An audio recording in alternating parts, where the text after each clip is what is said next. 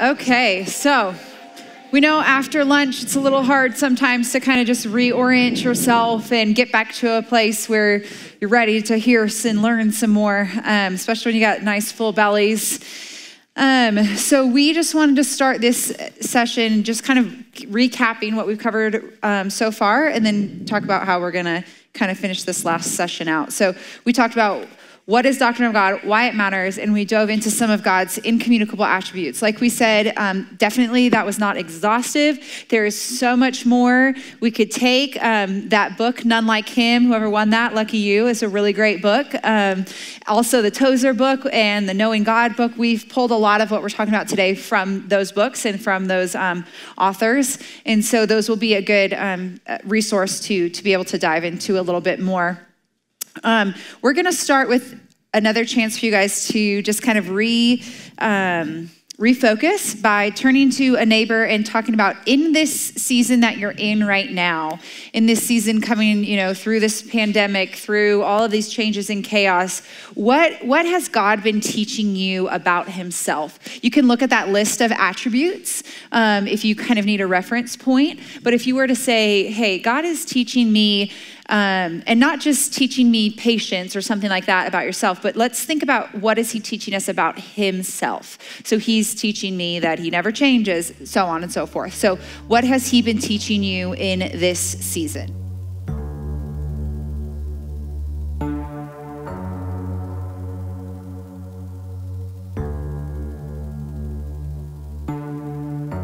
All right, so I hope one of the things you notice from talking to other people is that the Lord is teaching us um, sometimes similar things, but also sometimes different things about his character, right? Depending on what you're kind of walking through, the Lord may be teaching you um, something different than he's teaching your neighbor.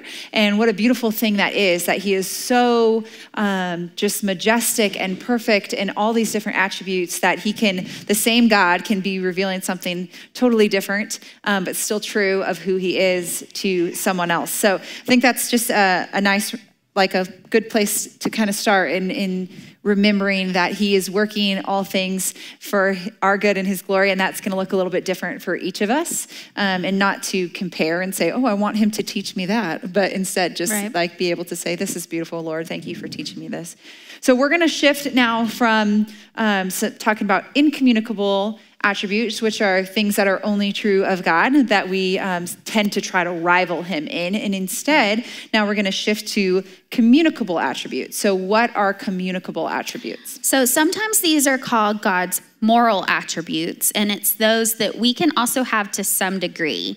And I think it's important to remember that, like Aaron said earlier, like God is infinite and we are finite beings, so we will never possess these in the same way that God does. Mm-hmm. Um, but we can reflect these to others. Like we've been talking about, you know, reflecting his attributes. These are ones that we definitely can reflect and, to, and show to some extent. Mm-hmm. So when we were thinking about this, there's, there's so many different directions we could have gone with this, talking about his justice, his mercy, his goodness, his, um, there's so many, his wisdom, all these different things that we could have talked about, but we decided to just pick kind of one focus that we think infiltrates the rest of them, and that's um, holiness.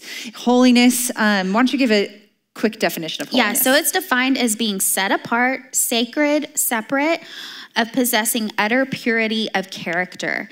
And holiness, I feel like, is kind of hard to wrap your mind around sometimes. It's kind of this word that if you've been in the church for long, you've heard a lot, but like when someone says, Well, what is holiness? It's like hard to define. And so I recently heard that the verb form of holiness is sanctify, to sanctify. And I feel like that's something that we understand a little bit better. That's to look more like Jesus, to mm-hmm. strive to live our life more like Jesus. So if mm-hmm. we think of holiness in the same way, just looking at Jesus, like Jesus embodies holiness, I feel like that's a little bit easier way to understand it. Yeah, I think that's really helpful too, thinking of, okay, if, if this is a way we can grow to be like God, um, what does that look like? And so it looks like sanctification, right? Sanctification is being transformed one degree of glory to the next, Corinthians tells us. Um, and so that, that's what it looks like in our lives. And the reason we decided to focus on this one, um, in Tozer's book, he talks about how all of the other attributes fall under holiness. Um, he says, Holy is the way God is. To be holy, he does not conform to a standard, but he is the standard. He is absolutely holy with an infinite, incomprehensible fullness of purity that is incapable of being anything other than it is. Because he is holy, all of his attributes are holy. That is, whatever we think of as belonging to God must be thought of as holy. And Casey talked about that when we think about his omniscience, his, all of those, that those are holy. And we have to think the same way when we think about his mercy is a holy mercy. And therefore, when we extend mercy, we want it to look like the way God extends mercy, not how we think humans have embodied mercy. So when we're thinking about these ways of how we can um, share in these attributes of God and how we can grow in these in our life, we have to use God as the standard and the definition of what these things are. We can look around and we can say, that's a good thing. But is it good in the terms of what God has called good, right. not in what man has called good? Is this what mercy looks like? Is this what justice looks like in how God has defined these things, not in how society or our parents or our friends have, have defined these things? So, this is a place where we can really be very reflective and just be aware and ask the Spirit to kind of just illuminate ways how we have put our own definitions to these attributes. Like you said with, with holiness, but with any of these these attributes, we come with some sort of baggage, if you will, when we think like we can both be talking about the same thing. We can both be talking about justice, which is a, a, big word right now in culture, right? But we can mean two entirely different things. Same with mercy, same with love, love same yeah. with, there's so many different examples that we could talk about here where we, we, we're speaking the same language, but we have two completely different meanings. And so, what we want to do and what we want to encourage you guys to do is as you continue to dive into these different attributes, is to really allow scripture to define what these things are instead of letting us define what they are or society define what they are. So, as we talk about holiness, I want you to be thinking about how that holiness um, defines the other attributes. Does that make sense? It's kind of the lens we're going to look through as we're thinking of all of these attributes and the way that we are to grow in these attributes. We can't grow in mercy apart from growing in holiness because our mercy then is going to not be the right type of mercy that we're supposed to grow in or the right type of justice or the right type of wisdom, right? There is worldly wisdom, there is mm-hmm. worldly justice, there is all of these things outside um, defined by something else. And our heart, um, is for us to really understand what those things are as God defines them, and then to live and grow in those things the way that God has designed for us to do that. So, um, let's look at some scripture. Yeah. So, if you had asked me a while ago, well, is holiness, is that communicable or is that incommunicable? I probably would have said incommunicable because I was that I, I can't be holy, only God's holy. But that's not true because we're covered by the blood of Jesus. We, we can be holy. And scripture actually says that. It says in First Peter 1 14 through 16. As obedient children, do not be conformed to the passions of your former ignorance, but as he who called you is holy, you also be holy in all your conduct, since it is written, You shall be holy, for I am holy. Mm-hmm. So I think that's just something important to remember. Like the Bible tells us that we can, and like I said, it's not going to be a perfect holiness like God's, but that is something that we can strive for. And this week, as I was just thinking about like holiness and how all of these other attributes kind of fall under this umbrella. I, I went back to my youth group days and I remembered this song that um, MercyMe used to sing called Take My Life. Did anybody else remember that song? Sing it, then they'll remember. I'm not gonna sing it, but I will I will tell you the lyrics. So the lyrics are holiness, holiness is what I long for. Holiness is what I need. Holiness, holiness is what you want from me. Take my life and form it. Take my mind, transform it. Take my will, conform it to yours, to yours, O Lord. And I love that because I'm like singing this in my head. And then I realize that not only is it talking about this holiness that we should be longing for, but it takes us right back to what we talked about at the beginning of the day with Romans 12, 2, which says, Do not be conformed to this world, but be transformed by the renewal of your mind, that by testing you may discern what is the will of God, what is good and acceptable and perfect.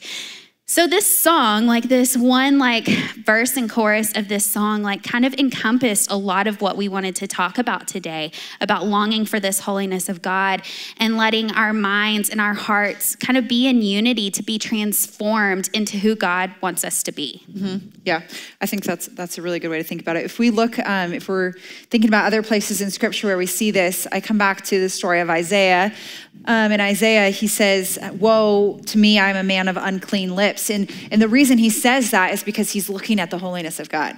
And so when we look to the standard, we look to the perfection, we look to, um, like Casey's saying, the ultimate perfection of holiness, it should create in us a realization that, wow, like, I am a sinner, that I am a man of unclean lips. And this is something we don't often talk about, especially as um, like a, a, women's event. Like nobody thinks I'm gonna come and like have to talk about repentance and sin. We wanna come and talk about the fun things. But it's important for us to recognize that when we are looking at um, who God is, a natural and right response is repentance and is a realization of our need and our lack. And so, if that's something that you're feeling like you're in good company, that was Isaiah's exact response as well. And it's what do we do with that then? What do we do with that realization of, okay, um, you are holy and you are righteous, and I see the sin in my heart. And then, okay, what do I do? I can fall into shame and guilt or I can bring this to the feet of Jesus and know that Jesus has already paid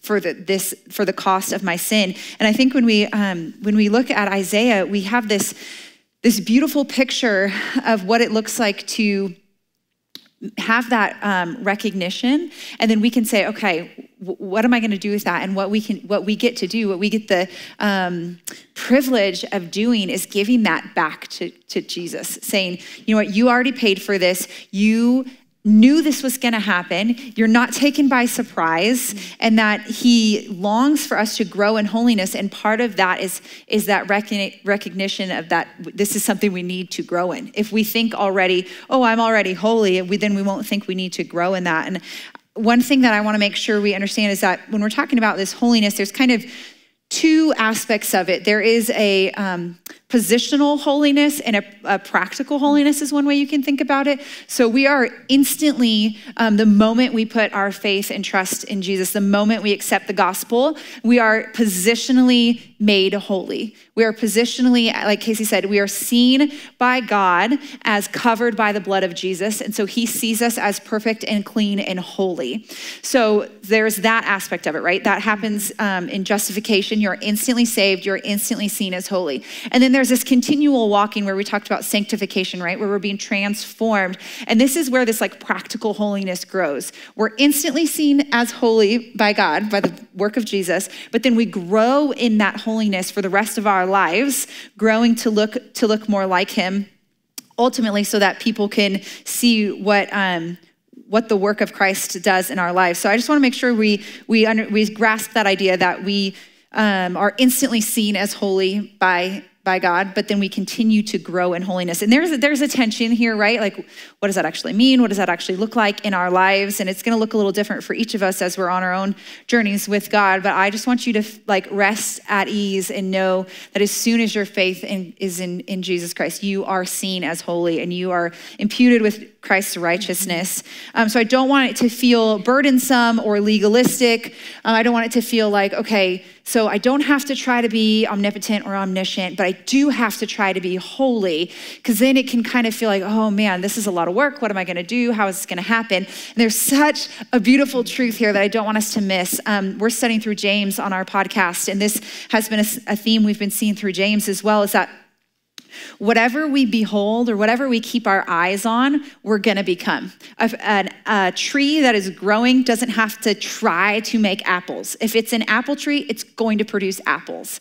Okay? It's not like, oh, I got to go try, work hard today to grow an apple. And so this is the same truth that carries over for us in holiness. It's not a perfect journey, right? We all know that. As we're walking out our faith, we know that we can, you know, be on fire for God and then we sin and then we have and there's a lot of tension and a lot of moving parts here. But I just want you to to recognize that the more you keep your eyes on Christ the more you stay in community the more you spend time in God's word, the more beautiful God is to you, which he becomes more beautiful the more you know him, that this is going to be a natural um, just byproduct of that. You're mm-hmm. going to grow in holiness because you're keeping your eyes on who God is. And so I hope that you hear us in saying that this, this is not some box you have to check in saying, okay, this is a communicable attribute. I can be like God in this way. I better go do X, Y, and Z. Now, spiritual disciplines are a gift and a good thing. So don't take this the opposite way and say, I don't have to do anything. It's just going to happen naturally. I'm covered by grace. All of that is true.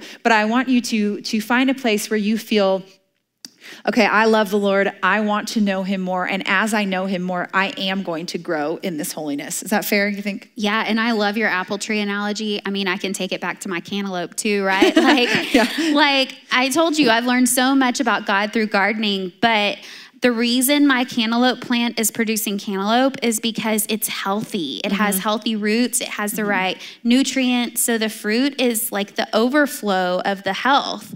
And so that's exactly what Aaron's saying like this holiness and the sanctification, like this is the overflow of us like spending time in God's word and knowing more of who he is. It mm-hmm. should not be burdensome or um, like you feel like you're having to labor to do it. It's an overflow. Yeah, that's good. Okay, so we're going to pause here for a moment. And what we're going to do is we're going to do a little activity. This is going to be something that you guys may be really comfortable with. And some of you have maybe done, never done this before. But one of our hearts when we're talking about like, what does it look like for us to grow in this is oftentimes like spending time in God's word. So what does it look like for us to spend time in God's word in a way that is God focused instead of self focused? So we're going to spend spend some time, um, a good bit of time, yeah. looking at some different passages. I will give you some as options, but you are welcome to use different passages if you like. And we're going to have you look at that passage and tell us which attributes you find in that passage.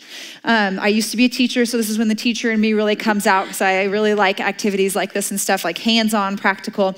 But our heart behind this is like I said at the beginning, we're our, a lot of us were raised in a way to open your Bible and say, okay, give me my answer, apply this to me. What does this mean for me? And to be 100% honest, we were talking about this at lunch.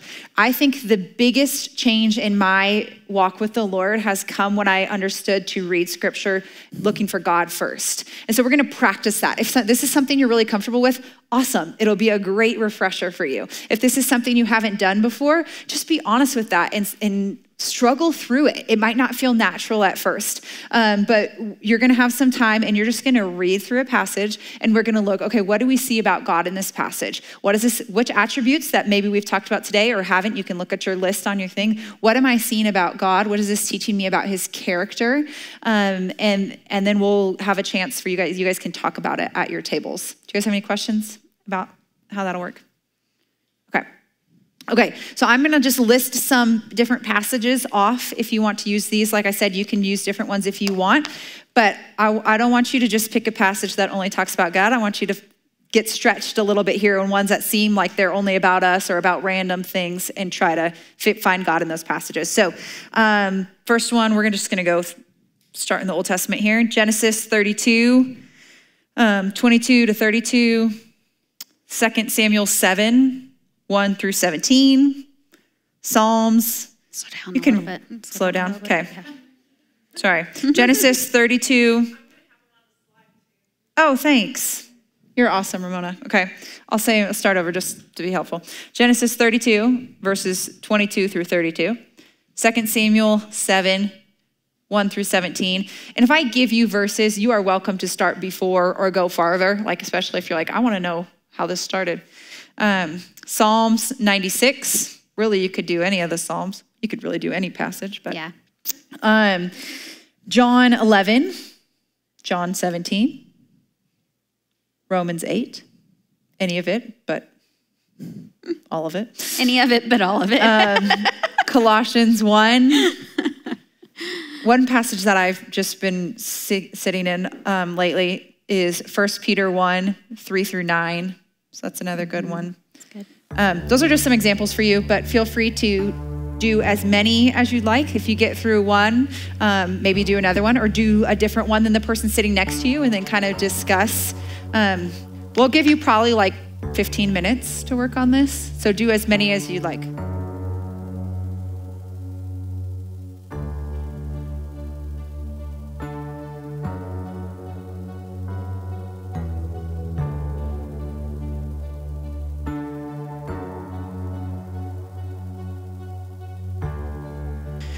Awesome. Okay. Do you want to describe what we're going to do next? You want me to? Oh, I can do it. So, just we're gonna spend. Uh, we're doing the prayer next, right? Yeah. Okay. We're um, going to listen to some music, and I know right now, especially, um, life can seem kind of loud and noisy and crazy, and we just wanted to give you a little bit of time to just spend with the Lord and asking Him to reveal to you um, where He's helping you grow specifically in holiness right now, and just spend some time um, thanking Him for who He is and um, for what you've learned today and how He's going to continue to teach you about Himself. And just um, honestly, if you just want to spend this time just like resting and just meditating on His His goodness, and um, that's good too. That's one thing that we've talked about before. We're not very good at like just being still and quiet and resting. Um, and so we wanted to give you a chance to do that. So we're going to listen to some music and then we'll um, come back afterwards to wrap up this session.